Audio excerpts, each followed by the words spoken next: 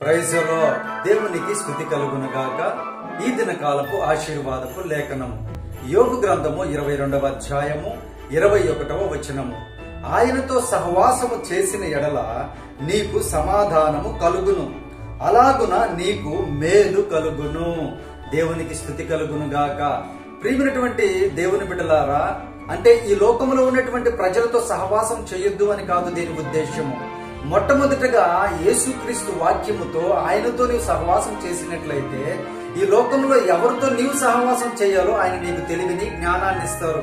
అప్పుడు నీ జీవితము మోసపోకుండా సమాధానము కలిగి నీవు జీవించగలవు.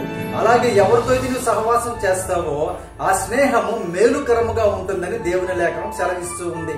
ఈ వాగ్దానం నువ్వు పొందుకోవాలంటే మొట్టమొదటిగా యేసుక్రీస్తు వారి వాక్యముతోనూ ఆయనతోనూ సహవాసం చేయి. అప్పుడు నీకు అశాంతి అనేది ఉండదు. నాశనం అనేది ఉండదని దేవుని లేఖనం సెలవిస్తూ ఉంది. ఈ వాగ్దానము నీ జీవితంలో దేవుడు నెరవేర్చును గాక. మంచి సహవాసులను నీకు దయచేయును గాక. ఈ దినకాలపు దీవులతో నిన్ను ఆశీర్వదించి బలపరచును గాక. ఆమె